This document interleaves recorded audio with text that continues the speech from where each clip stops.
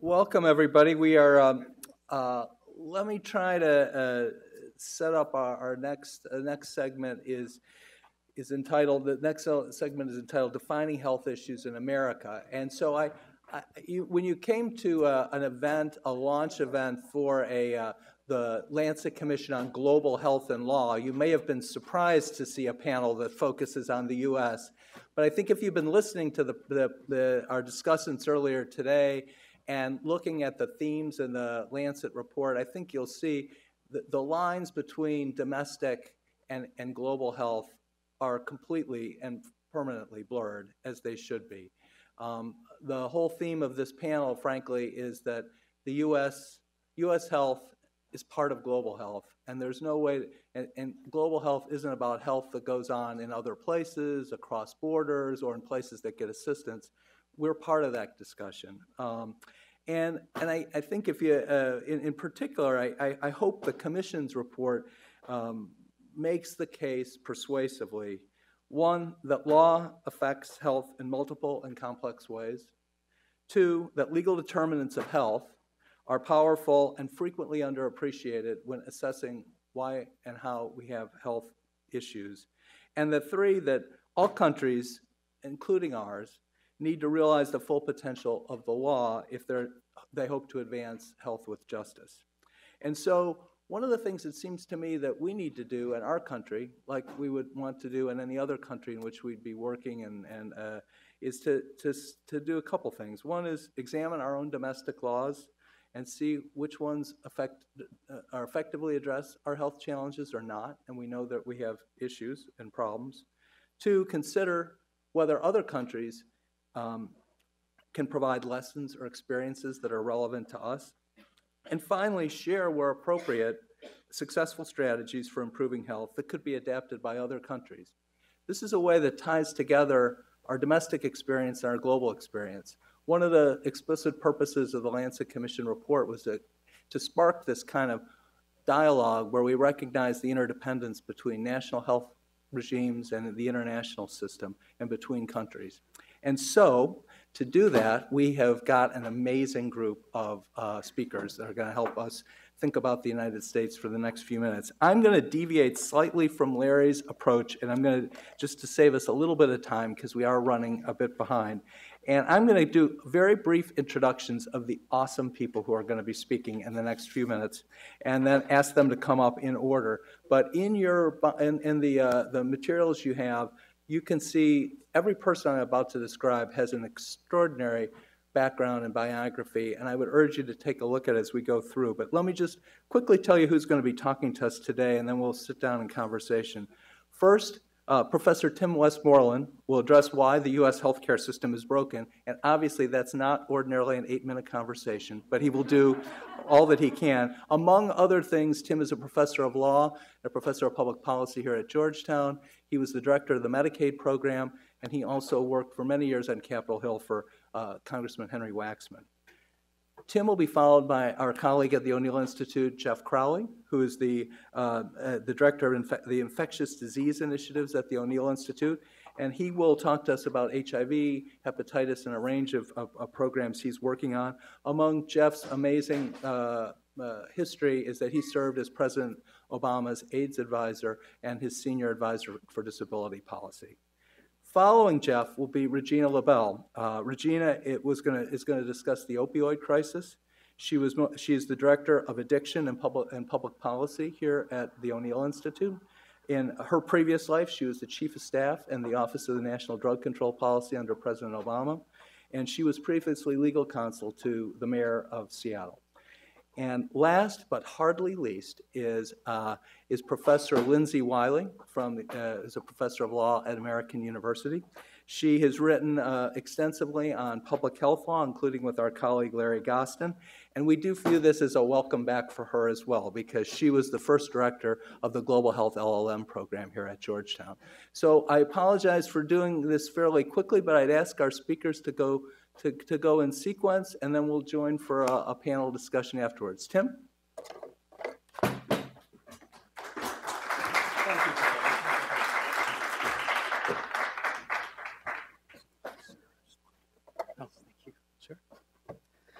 So as as as John said, my assigned topic is why the U.S. health system is broken. In five to eight minutes, um, I don't think so.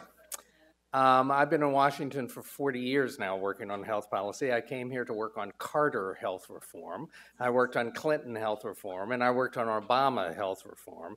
And if the ACA doesn't work out, I've had my three strikes at bat, and someone else can come to the bat. And I certainly can't give an outline of those 40 years in five to eight minutes, but I have some thoughts about what can be made better. And as usual, my thoughts on health reform usually turn to Medicaid. When everyone else is discussing the hard battle of Medicare for all, I want to join in the easier, or advise that we join in the easier effort of Medicaid for more. Um, especially, especially in a form like this one, because Medicaid is our largest federal effort to address, as the Commission charges us to, access to health, inequality, racial and ethnic disparities in health, public health, and disease control, all in one program. And it's governed by law and regulations of almost unsurpassed complexity, demanding law review, analysis, and improvement. My first thoughts about is that Medicaid is, however, politically stronger than it has ever been before. When I worked at HHS for Secretary Shalala, I used to joke that we administered two programs, Medicare and Med I Don't Care. Um, Medicaid has usually been an afterthought to Medicare if it was thought of at all. Even during the Obama administration, there were sometimes mistaken formal references to the Center for Medicare and Medicare Services. But now the list of essential programs is always Medicare and Medicaid. The foundational Medicaid program for pregnant women, uh, children, elderly people, and people with disabilities is assumed by virtually everyone to be necessary. The debate, if there is one, is about Medicaid expanding to low income childless adults. And some very red states have already done so, and even more so, more are on their way. Sometimes with their voters leading the leaders, kicking and screaming, but more states are on their way.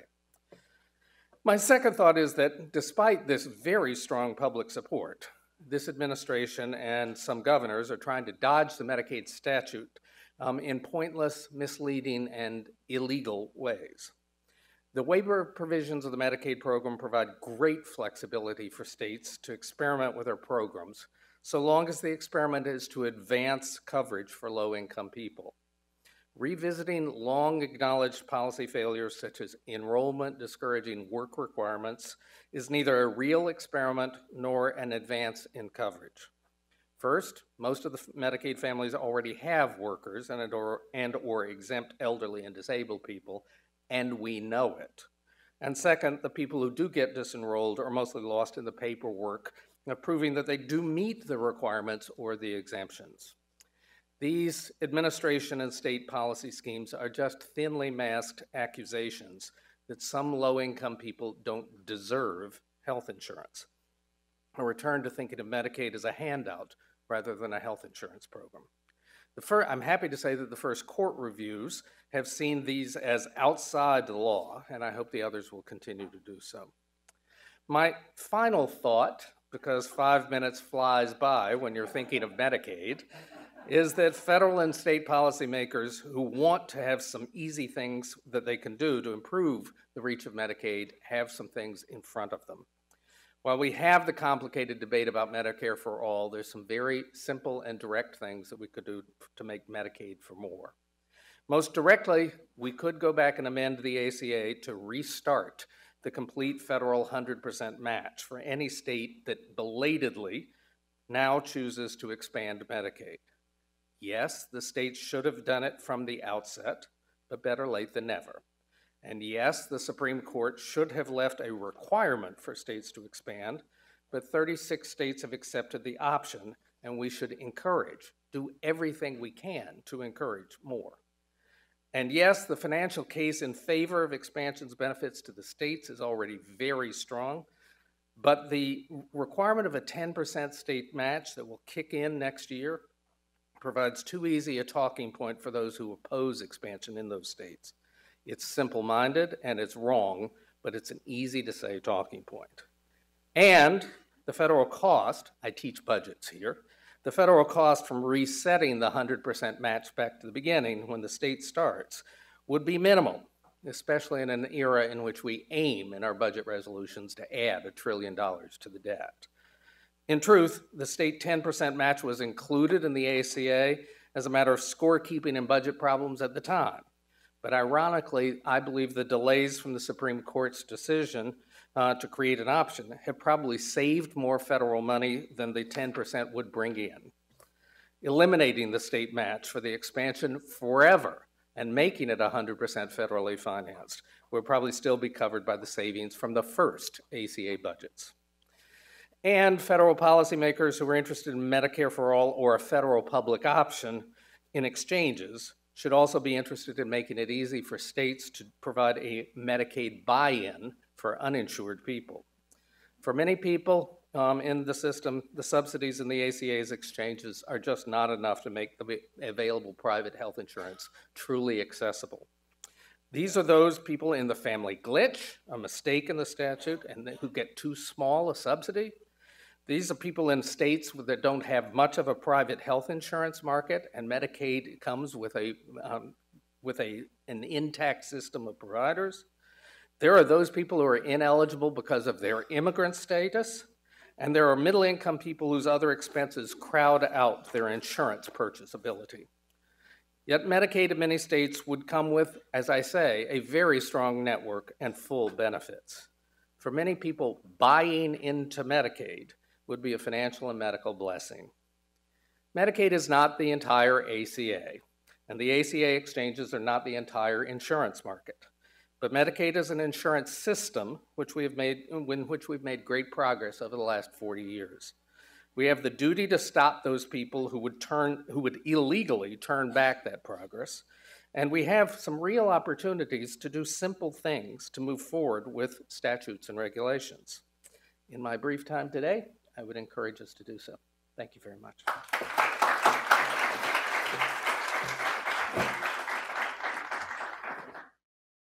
As I said, I'm Jeff Crowley, and I'm going to talk about um, the HIV and hepatitis epidemics and how we move from planning to action. I should say up front that um, the work I'm going to talk about is really based on a great team I have. I have two great lawyers that work with me. Sonia Canzater is a senior associate who works with us on hepatitis, and Sean Bland is a senior associate that works with us on HIV. And so my remarks really will talk about work we're all engaged in, and some of it, quite frankly, are issues we care about, but we're not necessarily directly doing all of this work. You know, I think of Dickens, it's the best of times and the worst of times. I mean, I think when I think about where we are with HIV and hepatitis C, there's lots of real um, excitement, but there's also challenges. Certainly, when I think about the communities most heavily impacted by HIV, the last few years have been really threatening. Not necessarily because of their HIV status, but as trans people or members of the LGBT community, as immigrants, as people of color, they've felt under threat. And now we have this new initiative where we're talking about ending aid. So it's, it's a real stark um, difference where there's both opportunities and threats. And hopefully, um, what you'll hear from me is a message that um, laws and policies matter, but also we can't use laws and policy to fix a problem and think we're done.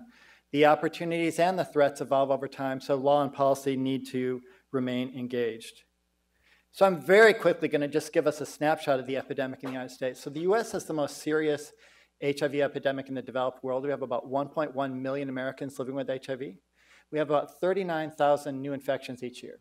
That's too many. But I will say, compared to the high point of our epidemic, when we had about 130 to 140,000 per year, it's major progress. We also had been in a period of steady state for a number of years where we had about 50,000 new infections per year. And then CDC data shows that from 2008 to 2014, we saw declines of almost um, 20% a year, bringing us to our current state.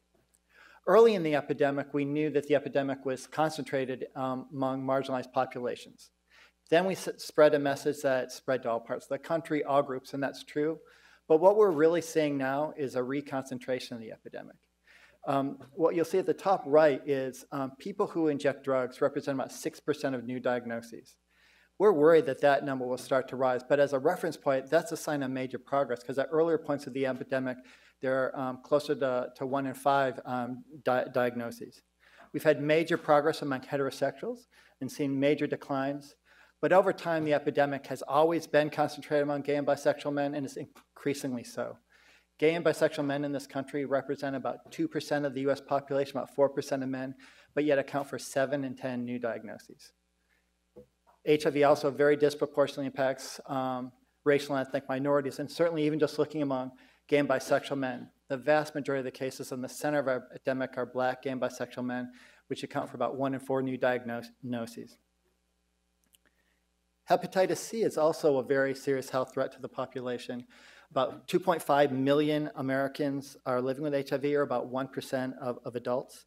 75 to 85% of these people will develop chronic infection.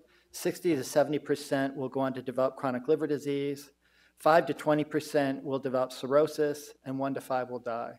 And I would note that a number of diseases, about 60 are reported to um, the CDC notifiable diseases, and hepatitis C causes more deaths than all these other conditions combined. So it's a very serious threat to the health of the population. So now I'm telling you we have very, very serious challenges. Why do I say it's an exciting time or, or there's some cause for optimism? Well, science has brought us a long way. We, in HIV, we have effective treatments. We have a range of effective treatments that Dr. Fauci mentioned, but the standard of care for both prevention and treatment is a pill a day. We used to know with hepatitis C that we had treatments that were had debilitating side effects. They didn't always work. Now we have a range of new treatments where the course of therapy is 8 to 12 weeks, highly tolerated, and the cure rate, not just effectively treating, but the cure rate exceeds 95%. So the science has brought us a long way, but um, challenges remain. Now, I will say not all our indicators are positive, and I think it shows if we let our guard down, um, we, we could see a re- resurgence. So on the left, it just shows that um, this is based on some work we've done. I think we've sort of taught the world that black, gay, and bisexual men are the center of epidemic. Next up are, are Latinx gay and bi men, and I think people would be surprised that they're a relatively small part of the US population, but they account for one in five new diagnoses. We also have a raging crisis in this country of sexually transmitted infections among all groups but again, it's highly concentrated. Two thirds of new cases of primary and secondary syphilis are among gay and bisexual men. And a recent study found that 10% of HIV diagnoses among gay and bisexual men is caused by the fact that they also have chlamydia or gonorrhea. And then the slide on the right is just shows a, a new outbreak of HIV and hepatitis C in the communities of Lawrence and Lowell, Massachusetts, associated with injection drug use. So all of these are areas where, despite our progress and optimism, we're, we're, um, we're struggling. The other thing where I'd say that we're, we're not always making progress is this is a map of obviously the United States. It shows um, we have these great treatments for hepatitis C that can cure. This shows access restrictions. And without getting into all the details, the red states mean that you have to have what's called a liver um, score of F3, means indicating the most severe scarring of the liver before you're eligible for treatment. So, have a, tr- a treatment that could cure you, but we wait until you have advanced disease. Many people believe that this violates the Medicaid law and there's active litigation. But again, it just underscores that science can bring us so far, but law and policy need to bring us the rest of the way. Now, I will say that, you know, HIV started with um, marginalized populations. Fighting for civil rights has been um, an important part of the, of the response since the beginning. The Americans with Disabilities Act is a landmark law that protects both people with HIV and, and people with hepatitis. Um, that's a great thing that even today is, is improving people's lives, but there's still challenges or, or gaps in the law. Recently, the Affordable Care Act did a couple of really important things, as Professor Westmoreland mentioned. It prohibited um, discrimination on the pre- basis of pre-existing conditions, and it created a Medicaid expansion that significantly expanded access to health coverage for people living with HIV. I think if I had to pick one factor for the declines in new diagnoses and the increases in HIV outcomes we've seen in recent years, it's because, of this expanded coverage, because it's been a platform for us to make some other, other progress. But, you know, the law is still under threat, so we have to still remain engaged. So we, we can't do law once and be done. We have to, we have to keep at it. Just want to highlight some other areas. HIV is often criminalized in the United States. When we talk about HIV criminalization, I think people think, oh, I'm harkening back to an earlier period in the epidemic. Today, 34 states have HIV specific criminal laws or their sentence enhancements for, for people with HIV. 24 states have used general criminal statutes to prosecute people with HIV. Now, these are not cases where people are typically prosecuted because they intentionally transmitted infection. These are cases where people are prosecuting for so-called failure to disclose. It's not always clear if they, if they failed to disclose. In many cases, um, no transmission occurred and people weren't even really infectious. As Dr. Fauci mentioned, people, when they're on treatment, if they're viral cannot transmit infection, but these laws don't account for that. One of the things we always said about these HIV criminal laws is we treat HIV differently than we um, treat other infectious diseases. But unfortunately, um, hepatitis is catching up to us. So about 12 states criminalize um, um, hepatitis, and these are new laws. So these are new trends in some cases where, where we're moving backward. And again, the laws aren't really about knowingly exposing someone to the virus or actual transmission occurring. It's just exposing someone to your bodily fluids. In, in 2018, a, a, person in Ohio was charged with four count, felony counts of harassment with a bodily substance for spitting at first responders during his arrest. He faced a maximum penalty of 12 years. He ultimately pled guilty to one count and was sentenced to 18 months for spitting at a police officer. Now, I, in the last administration, dealt with some of this in the HIV context. I'm not pro spitting or biting. This really comes up in the context of law enforcement. But there's not a, a real evidence basis for treating one group of people differently. So let's treat all, all spitters the, the, the same, but it shows we're moving backward. Um, there's some other areas I just want to highlight that um, again, my colleague Sean is doing some great work in partnership with local organizations, Whitman Walker Health, which is our uh, health center, but that's our major HIV service provider in this area, and HIPS a sex worker advocacy group to do um, really cutting edge work around decriminalization of sex work. This goes hand in hand with our, uh, with our efforts to prevent HIV infection and um, decrease vul- vulnerability. I think he would say that um, efforts to use the law to challenge this have been unsuccessful so far. But in our local city council, we have a council member that's proposed to decriminalize it. And a lot of their, their work, I think, is really about talking to key stakeholders, understanding what the education challenges are. In some cases, these, these efforts re- require multi years to build support um, for, for that. And then I'm not going to get into this, but you know, I um, dealt when I was in the Obama administration with syringe services policy, and now it's amazing to me how far the, the legislators that were our biggest challengers fought us every step of the way about permitting federal funding for syringe services programs. Um, turned around and now some of their biggest champions. But now we have a new issue, and it's the same debate. Are we trying to facilitate drug use? And that has to do with overdose prevention. Uh, we, we have a crisis of overdose deaths, and a lot of pl- places are trying to replicate successes in other countries where we've, if we're going to give people sterile syringes, let's give people a safe space to use their drugs, often under medical supervision. If people overdose, we can reverse it. Maybe, maybe we can allow people to test their drugs for contamination with fentanyl. This has been characterized as though there's this sort of lobby promoting drug use. I think we need to think seriously about how we reframe this for the public because I think the science is pretty clear about the benefits of it, but the, the public narrative has gotten it all wrong. So I'll stop there, but again, I think that um, science is moving us forward in HIV and Hep C in really remarkable ways. Law and policy, though, is the critical partner to keep us moving forward. Thank you.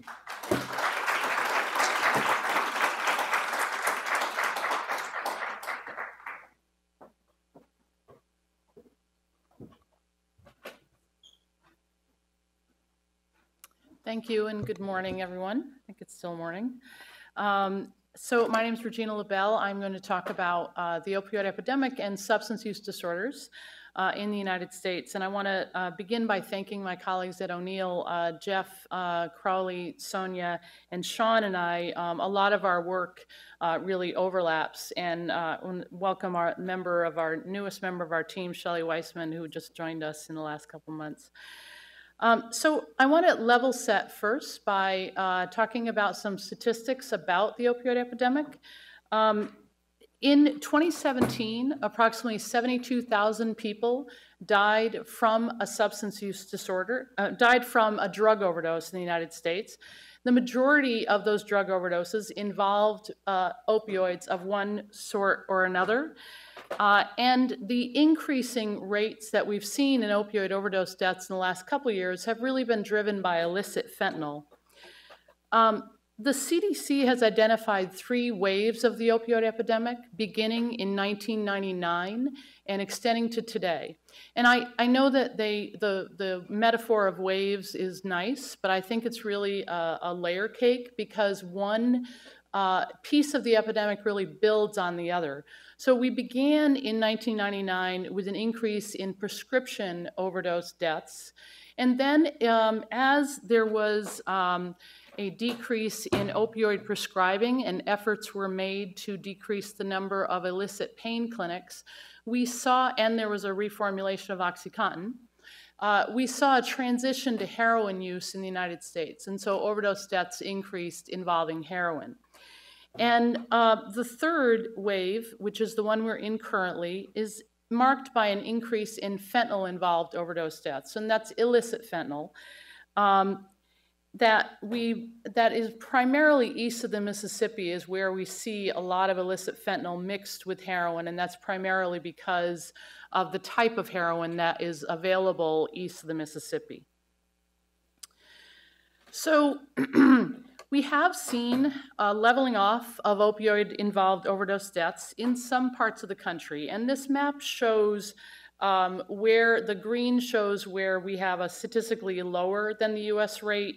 Uh, and you can see the blue parts of the country are really where fentanyl involved overdose deaths are increasing.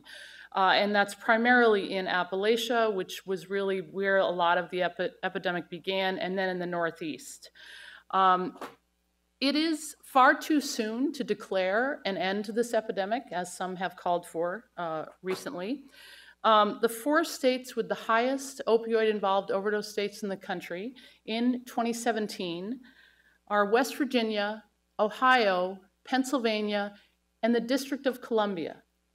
Now, the District of Columbia rates are very high, primarily because of individuals in DC who um, use heroin, traditionally longtime heroin users, and they are the heroin supply in DC is being mixed with fentanyl, so people are overdosing. Now, uh, as I said, we've seen a decrease, uh, about 3.6% decrease over the last 12 months nationwide. Um, prescribing rates are coming down. Treatment availability is increasing, uh, but treatment gaps remain problematic. So a few important uh, figures to know before I get to this slide. Uh, first of all, there are 20 million people in this country who have a substance use disorder. There are approximately 23 million people in this country who are in recovery from a substance use disorder. And that figure is not very precise, but that's one that we think, because a lot of people keep it quiet, right? We don't like to talk about the fact that we have the disease of addiction or in recovery from the disease of addiction. But that's our estimate. There are about 23 million. So, of, of the people with substance use disorders, 13% get treatment for their substance use disorder. If you have, if you're one of the 2.1 million people with an opioid use disorder, um, approximately 30% of people with an opioid use disorder get treatment. So more than twice as many as people with a generalized substance use disorder. Legal and policy responses have been directed to close this treatment gap uh, and to get evidence-based care to people. And I'll talk a little bit about the importance of evidence-based care in a minute. Um, so considerable federal funding began in 2017 uh, in 2016, piece, legislation was passed uh, that was authorized, and then I'm, I'm uh, directing this to Professor Westmoreland authorization versus appropriation. So, uh, money was appropriated in the budget in FY17 and FY18, about a billion dollars, which is the most that had ever been appropriated specifically for the opioid epidemic to close that treatment gap. Um, so that is good, right? That we had this increase. Um, and the money that was directed to the states uh, is supposed to be um, tied to evidence based treatment. So, treatment for opioid use disorders using one of three forms of FDA approved medications. And those three medications are naltrexone, uh, buprenorphine, or methadone. Those are the three forms of FDA approved medications that are effective at reducing overdose deaths and sustaining recovery for individuals with opioid use disorder. Um, and we've seen some really effective programs implemented around the country. And one I will quickly highlight because it's, it's a, a great uh, movement that's happening around the country. The state of Rhode Island implemented evidence-based treatment using all three forms of FDA-approved medications in their uh, correctional institutions in 2016 and 2017, they saw a 60% decrease in overdose death rates among their reentry population. Individuals who are leaving uh, prison have the highest overdose death rates because they are abstaining from drugs, and then when they leave, uh, they will overdose because they're not being treated for their addiction. So that also that resulted in a 12% reduction in the state of Rhode Island's overdose deaths.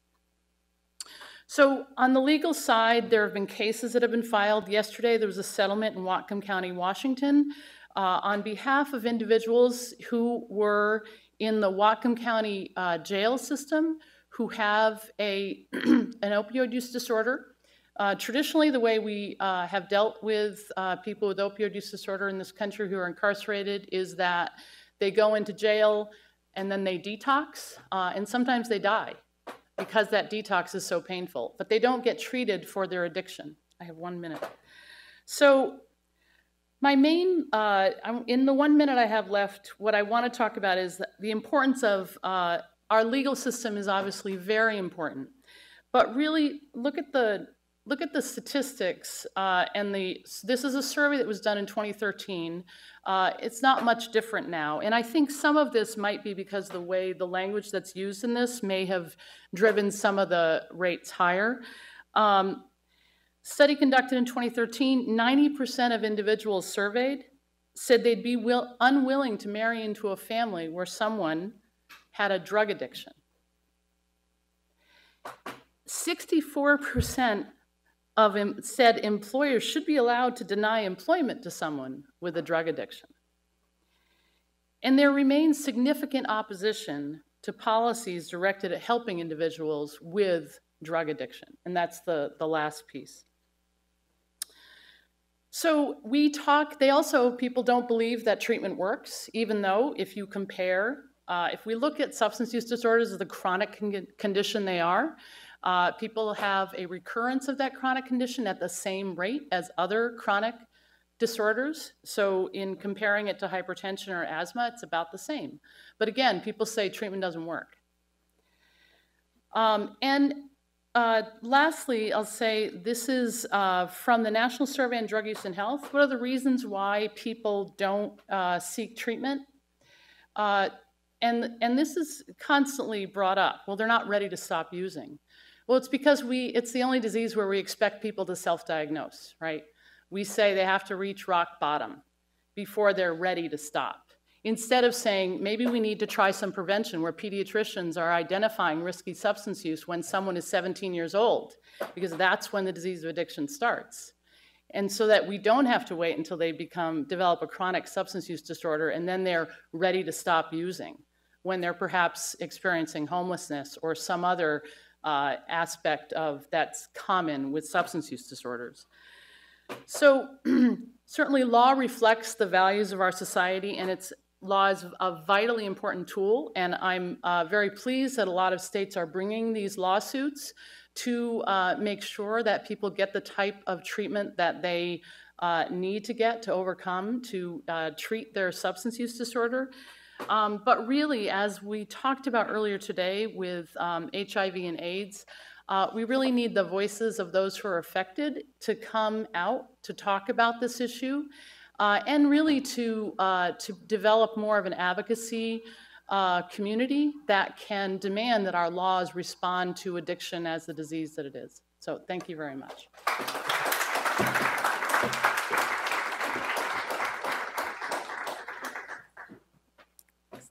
I love it when things work the way they're supposed to. That's great. So, good afternoon. I want to thank John Monahan and the organizers for including me in this fantastic event. I'm Lindsay Wiley, and I'm a professor of law and director of the Health Law and Policy program at American University. I'm thrilled by how the Lancet report that we're celebrating today frames the issue in terms of the legal determinants of health. I'm a firm believer in the central idea of the report that law is a powerful tool for advancing the public's health domestically and globally. Laws and policies within the healthcare sector and far beyond it play a powerful role as social determinants of health. Law is a social determinant of health, for better and for worse. Law mediates the relationship between health and race, ethnicity, immigration status, sexual identity and orientation, poverty, geography, community deprivation, and much, much more.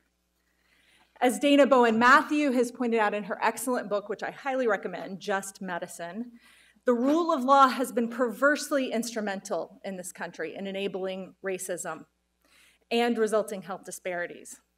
Matthews offers this excellent quotation from a pair of medical anthropologists The individual body should be seen as the most immediate, the proximate terrain where social truths and social contradictions are played out. Law is the embodiment of our social truths and contradictions, which are also embodied in the health of our populations, not only individuals. I'm also excited about the focus of this panel on defining health issues. There is hardly a more crucial question in health law and policy than this What counts as a health problem? And which of these problems count as public problems rather than merely personal. We've heard several really fantastic presentations today on some of the most pressing problems of our time. I want to broaden the scope of this discussion a bit uh, and move it upstream and put it into a broader historical, cultural, and social context. I want to focus on how these tensions and social contradictions are playing out in two key shifts in public health law in the US and increasingly abroad as well, particularly with respect to NCDs and injury prevention. In turn, these shifts are attached to broader shifts in public health models and the models that shape public health practice and science. What we've seen is that uh, that there's application of the public health perspective, including its prevention orientation, its population focus, and its social justice commitment to issues that historically and intuitively and powerfully are seen as personal issues and interpersonal issues, and reframing those problems as public, as matters for collective concern and collective problem solving. In response to the insights of social epidemiology over the last couple of decades, we've seen a move that many refer to as new public health to shift the focus of our interventions upstream uh, and to address the foundational social determinants of health, including economic injustice, racial injustice, and much more. Indeed, as Scott Burris has said, the grand challenge of our time is how we respond to the insights of social epidemiology in our work as public health lawyers and public health practitioners. And the tension over this approach, which has been highly controversial, um, is inherent in the tensions uh, that play out in our shifting models. So, if we go back to what you might think of as the old, old public health, which is often forgotten, a miasma model, which was scientifically quite misguided, but uh, but powerfully focused on poverty and on geographic disparities in health, addressing, at least trying to mitigate the impacts of, of these social determinants on health. Um, in response to early epidemiological studies linking health outcomes to neighborhood boundaries and workplaces, for example. And from there to the old public health, the narrow model that many libertarians champion or return to, um, the agent microbial model, which was much more narrowly focused on infectious disease control, particularly with an emphasis on medical countermeasures and mass adoption of things like vaccinations and antibiotic treatments. But the real tension is the shift between the behavioral model, which came about in the latter half of the 20th century with, uh, with a particular with a, a, particular focus on individual choices as determinants of health, individual behaviors, a very personal focus for public health at the time. And this model relegated law and policy to the back seat.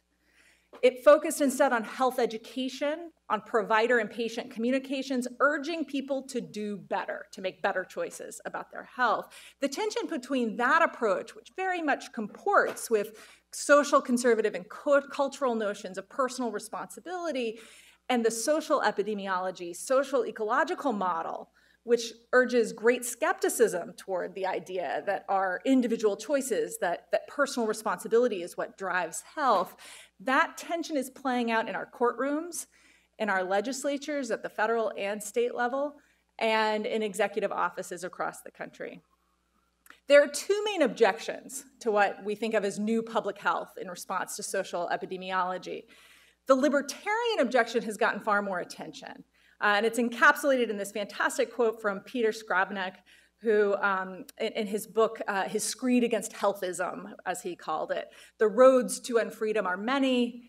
Signposts on one of them bear the inscription "Health for All."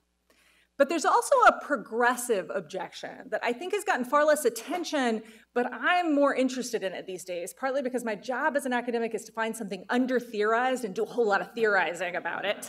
Um, this is an objection that, uh, that Larry gave voice to when he questioned whether eliminating poverty, uh, homelessness, racism, whether there was enough to be gained by framing these as health issues per se and whether those potentially minimal gains of that framing justified the risks in terms of the coherence of the field of health law. There are many of us, including Larry, who have written at length in response to the libertarian objection to defend a broad scope for public health law and action.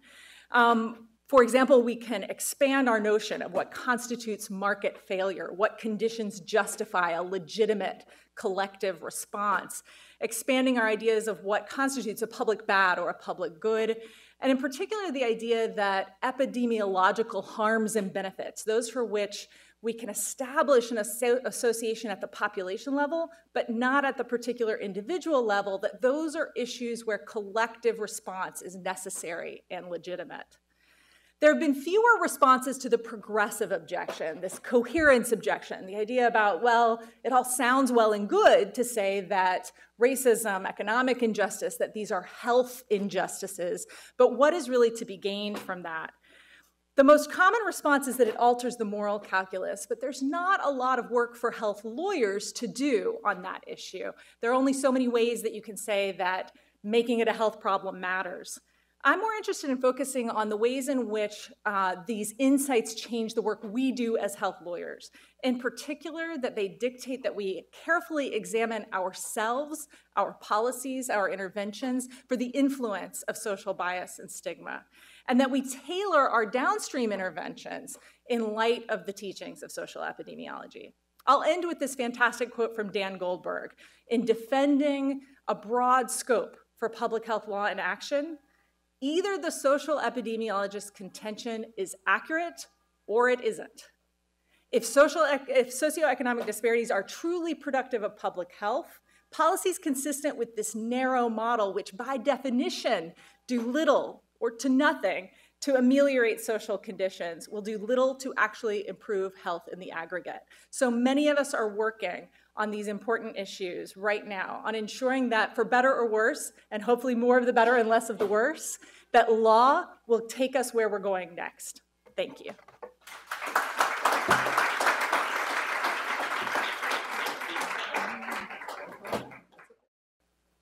Well, I told you it would be a great group, huh? Uh, so I, I, I was a little overwhelmed over the course of the last uh, the, the, several presentations just about the uh, just the breadth of uh, the breadth and depth of the knowledge here, but also um, the commitment to justice and the commitment to, to thinking about health outcomes more broadly. So thank you all. I really appreciate it. So here's a thought. I, I, I, my guess is that you all spend a little bit of time, like I do, despairing on the current state of politics in our country. Um, whether you call it polarization is the polite way to call it. For people who have a point of view, they may say other things about how we've ended up in this place. But I was struck by all four of you, even in a moment which I think it is fairly, is highly partisan where so often the answer is, you can't do that. Any policy idea, you can't do that because so and so, one interest is opposed. Even, even when Donna Shalala was talking about the complexity of Medicare for all. But I was struck, each one of you talked about potential areas where we could make progress.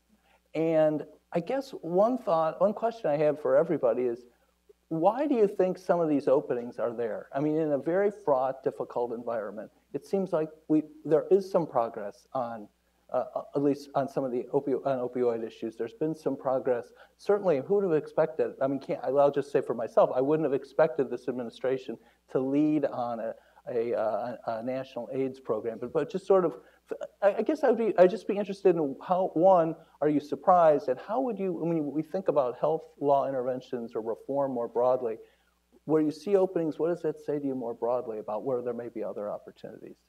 And so I don't know who might want to start. Anybody want to? Jeff? Yeah, I'll jump in. I, I sort of have two, two thoughts. One, I think about there's an um, HIV outbreak in Scott County, Indiana. Community with five HIV diagnoses a year suddenly had um, around 200. At the time, Governor Pence was adamantly opposed to syringe services. Um, his health commissioner, who is now our current Surgeon General, Jerome Adams, was opposed to it. The facts on the ground forced a change, and th- they adopted it. So I think that gives me hope. In some cases, the, the scale of the crisis, but I also think about just experience I had in the Obama administration with the excitement about um, PEPFAR. People like to buy into success. So we, in the Obama era, had an opportunity. Um, President Bush set a goal of treating 2 million people with HIV around the world by the end of 2013. In 2011, um, President Obama changed the goal to 4 million over the same time period. But what was striking was that everybody, the people most tangentially related to HIV, bought into the success and wanted to be part of it. And so I think that creates some opportunities. But the last point I'd make is when I was in the last administration, we very consciously tried to make this as bipartisan as possible. We eliminated the HIV entry ban. What we always said is this was a process started by President Bush, we finished it. Talk about the bipartisan support historically for the Ryan White program, which Professor Westmoreland's been involved with from the beginning. And I think there's opportunities for, for both parties to, to be invested in our success. Yeah, I think um, on the opioid epidemic, I mean, clearly, as, as Jeff mentioned, the uh, Scott County, Indiana uh, situation, that helped lead the way for actually um, Congressman Hal Rogers, who's from a very conservative district in Kentucky, and uh, Mitch McConnell to uh, add language that allows syringe services programs to be funded with federal funding for everything but the syringes. So this has been traditionally a very bipartisan issue, and uh, part of that is because there's not a lot of politics to gain with this, um, probably because of the stigmatized nature of the population.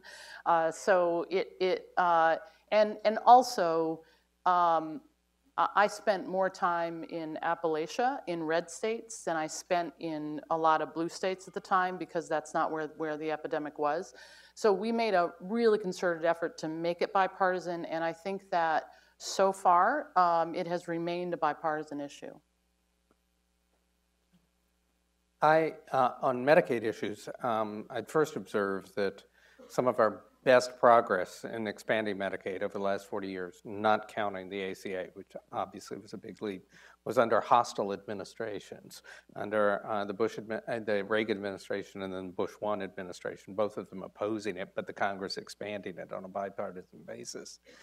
And these days, I would say what I think is driving the um, the discussion of Medicaid expansion, especially in red states, is what Jeff alluded to of the facts on the ground, or more likely the lives on the ground, where people understand the far reaches of Medicaid in a way that they used not to. They used to think it was just those poor people over there.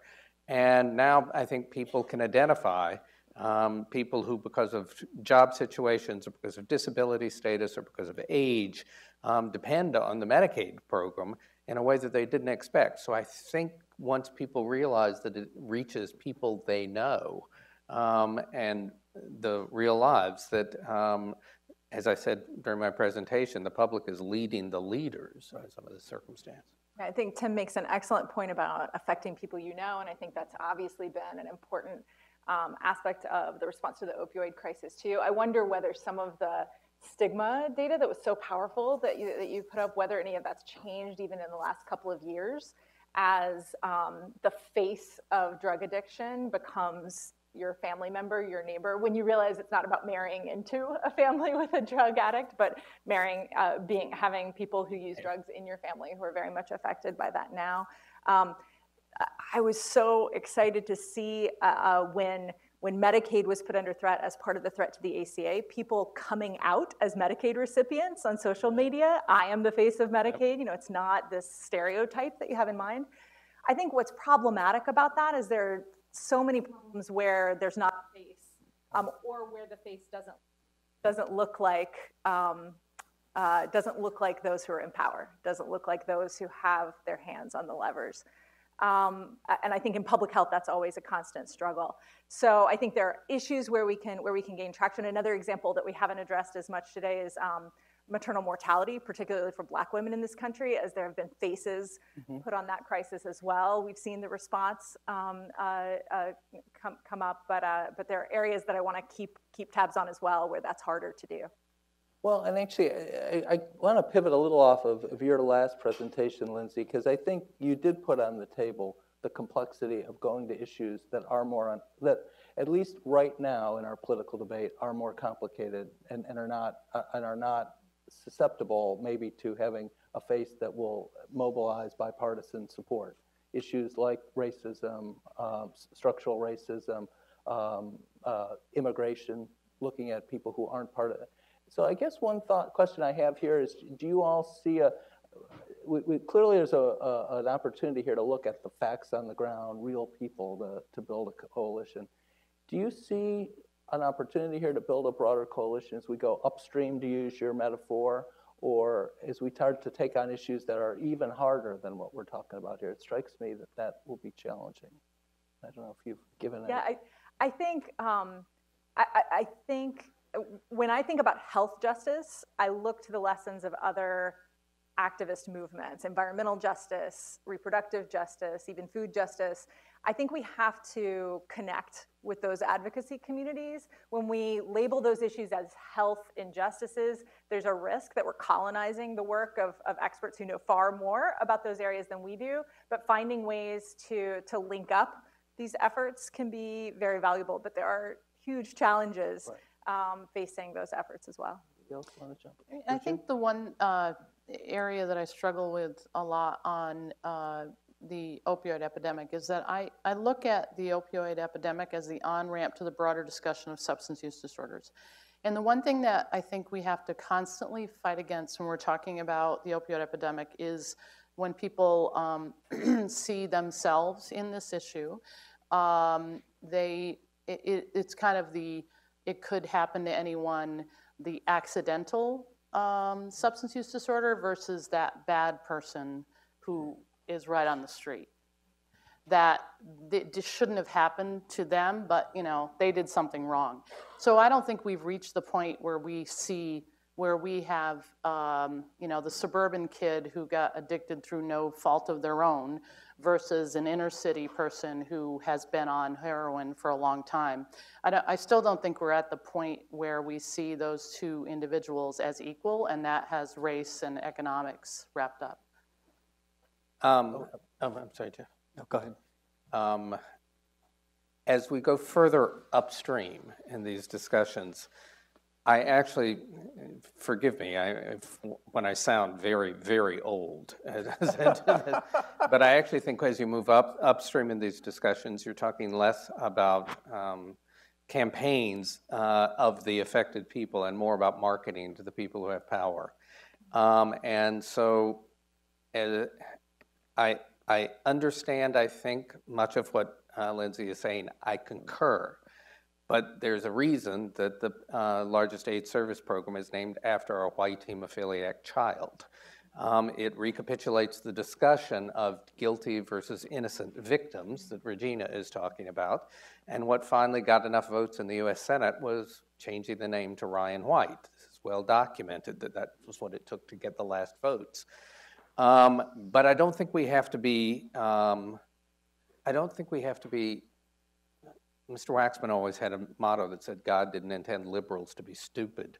um, I, I don't think we have to be stupid about it, too. I think instead of, um, may she rest in peace, Elizabeth Glaser, who founded the Pediatric AIDS Foundation, who used to come to our offices to say, Show me the places where they don't like gay men and drug users, and send me to talk about women and kids, but we'll say the same thing and that that combined intuition that we're all in it together, but some of us can market some places and some of us can market others. Seems to me that it's still a relevant skill. Jeff, did you? I think Tim covered some of the ideas, so I'll pass. Well, Do you oh, have a response to that?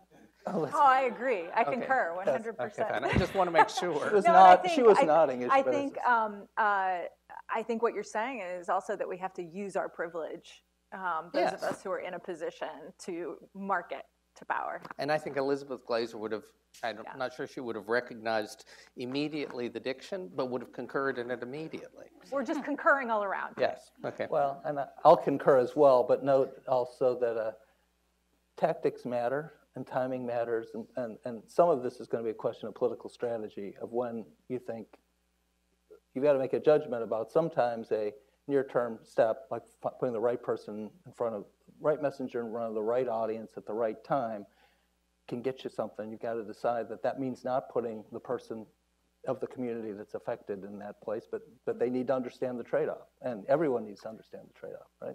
And I think the lesson of the last 20 years for public health people is keep looking to see if you really have appreciated the trade-offs of doing this. Don't just turn into an advertising firm. Keep looking to see whether you're betraying any of the underpinnings of this too. I think that's right. And at the, I was going to say, at the risk of not concurring fully, um, I, I do think there are times when the the privileged messenger can sometimes get it wrong in ways that do we more have a harm blind than good, spot, right? yeah. And so uh, it's a it's a careful balance. So let me ask you, uh, also kind of cognizant of our time here, but also reflecting on the commission report. The commission report talked, um, is, is, is designed to speak to primarily a health and science audience, to make the argument that law matters. But it comes away with sort of two specific categories of, of uh, where we need to do more. One is to build an evidence base, more evidence for better law. And, and the second is to, to think about what we need in terms of legal capacity. How do we strengthen our ability to make the right arguments in the right places at the right time? And I, I guess I'd be interested if, if in the areas you all spoke to, if there are maybe one or more examples of places where we need, where we, we see where the, where public law reform really needs more evidence or better evidence, and what are our priorities? And then another area, where do we need to really equip ourselves as lawyers and advocates to take the information we know and use it better? Um, so I don't, I, because it seems to me there's lots of opportunities here. So I don't know who wants. I mean, I think, um, so the Americans with Disabilities Act uh, covers people with alcohol use disorders uh, who are currently using, uh, and if you have an illegal drug use disorder, it doesn't cover you unless you're in recovery, and that definition of recovery is somewhat loose. Um, There, uh, I think that that's a real opportunity to expand and have, um, have a greater uh, amount of litigation in that area. Um, and there's such an overlap with, um, you know, individuals with Hep C, and the, the, that's an area that is ripe for uh, more litigation. And, and what I was trying to say earlier was that I think the stigma has a lot to do with why we haven't done more litigation in that area. Um, I, I was talking with a colleague here, David Super, um, who, whom I admire greatly and who focuses a lot on food stamps work.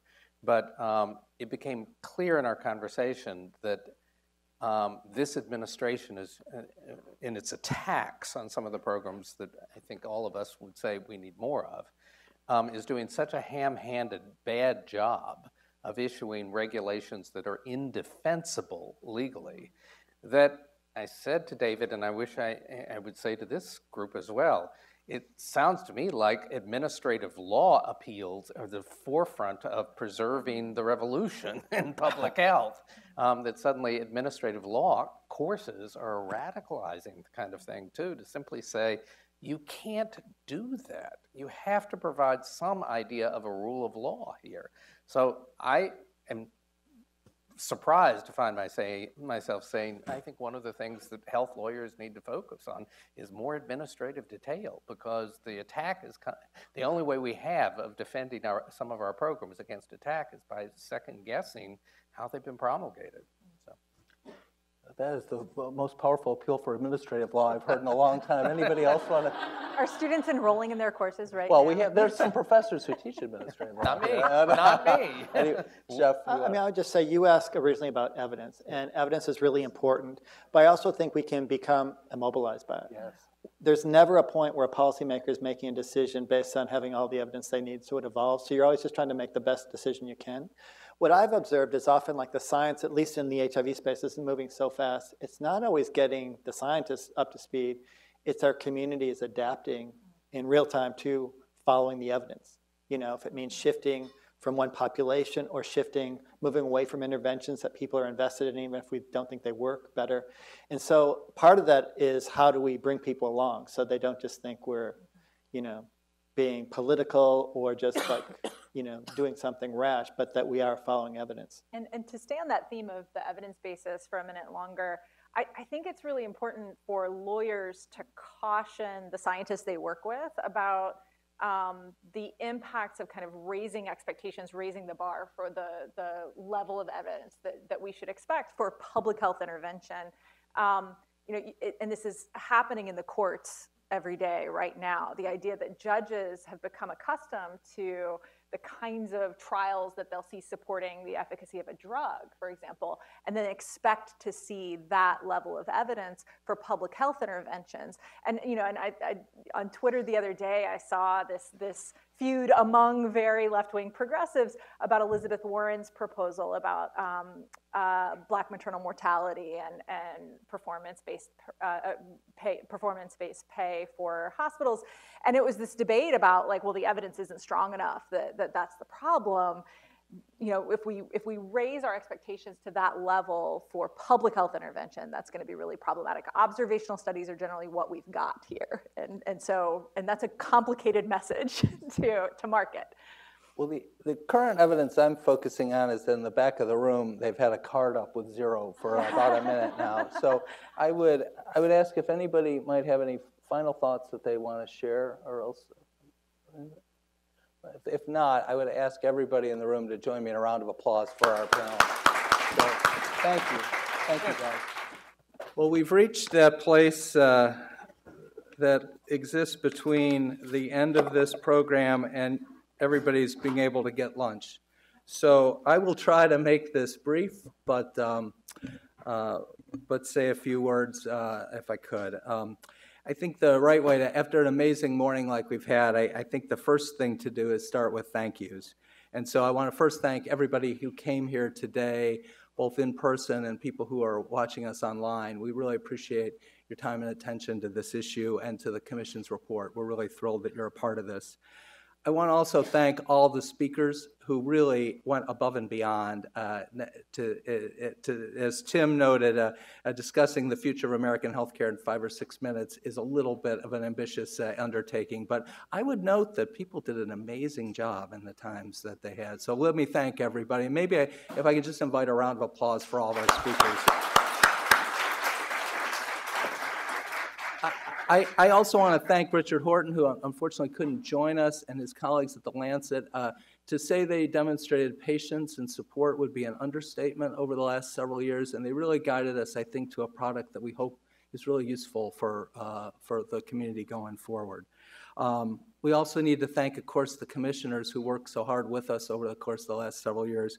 They were terrific. I mean, you can see the roster. It's really an amazing group of thinkers uh, from the health and legal communities, from the global north, global south. It was really terrific. Um, uh, I, I want to mention once again, because sometimes in the laundry list of names that get involved in, uh, that are listed in various uh, published documents, the most important names kind of get lost. I want to be sure we flag, um, again, Jenny Kaldor, who from uh, our colleague in Australia, who played really an, an, a critical role in getting this document from where it started to where it finished up, um, as well as our other authors. Uh, they're here today, Katie Gottschalk, Susan Kim, um, Eric Friedman, who's somewhere in this room. Um, so, uh, so thank you. And then, and then also to the whole team here that made all this happen. None of this happens by accident, and certainly Larry and I didn't do anything that made all this happen. Um, so I want to particularly recognize Katie and Eric, Carly Henry from the Office of Global Initiatives and the, at the, the main campus, uh, Mary Angel Rodriguez, who I don't think is here, um, and, and everybody else from the O'Neill team. So thank you very much. This we really appreciate. Um, Of course, Tim and Linda O'Neill, we wouldn't be here today. There wouldn't be an O'Neill Institute without their generosity, so thank you. And of course, I can't uh, complete thanks without thanking the co-chair and my longtime friend and colleague, Larry Gostin. I- To say that, you know, somebody's a visionary and has created a, a field and a space is sometimes overstated, but not in Larry's case. So thank you, Larry. It's been a pleasure. Um, so let me just finish by uh, suggesting a couple things. One is, I hope as you review the report and you re- reflect on what we uh, discussed today, that you came away, at least we hope, with a deeper appreciation of the complex and often underappreciated role that law plays in, in, in impacting health. Um, and so, to use the language of a lawyer, because we have two audiences here, I hope we've made the case uh, that law affects health in important ways, and that we need to use the tool of law more intentionally, more effectively to save lives and improve and reduce suffering. We can, we should. To use maybe the language of health and science, I hope the data are clear now, at least on some level, or at least sufficiently clear, that demonstrate that the legal determinants of health are powerful and that we need the voices of the health and science community in the debates over health, about law, law reform, um, because we know that laws will predictably impact health. And if you're not there, somebody else will be. So we hope that you've, the cases, the data is clear enough to get you in the debate. Um, so I think, I think really at the end of the day, when you look at this, the biggest challenge is it's clear laws matter. Um, what we need to fi- now figure out how to make that happen, and a, a better way. That means making bad laws less bad, or hopefully get rid of them and make good laws better. Um, so, as far as we at Georgetown, um, Larry mentioned this at the beginning. Richard Horton referenced it in his comments.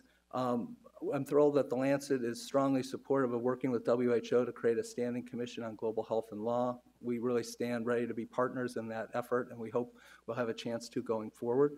Um, Moreover, uh, we are really excited, as you may note in the report, one of the case studies that we lead off with in terms of translating vision into action is the universal health coverage. And so we are going to, we're also going to launch a, a project to help what we call, develop what we call legal solutions in universal health coverage, to look at ways in which we can help um, parliamentarians, advocates, and others who want to know more about what it would take to draft universal health laws, universal health coverage laws that would do better and be, make and, and make a more just world. So we're hopeful that that's uh, something we can uh, work with all of you together. In fact, I'd invite anybody here who's interested to, to contact us.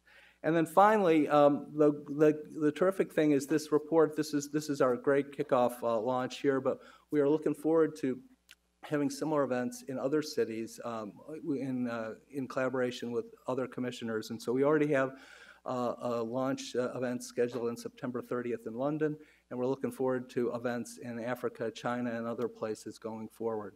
So we hope maybe you can join us in those places, and in any event, uh, we, we hope that you can be uh, part of this ongoing community. You're welcome to come. If, uh, we'll, uh, we'll put it on the website. So, uh, um, so with that, I think we'll just close unless there's any further ado. Thanks everybody for coming. We really appreciate it.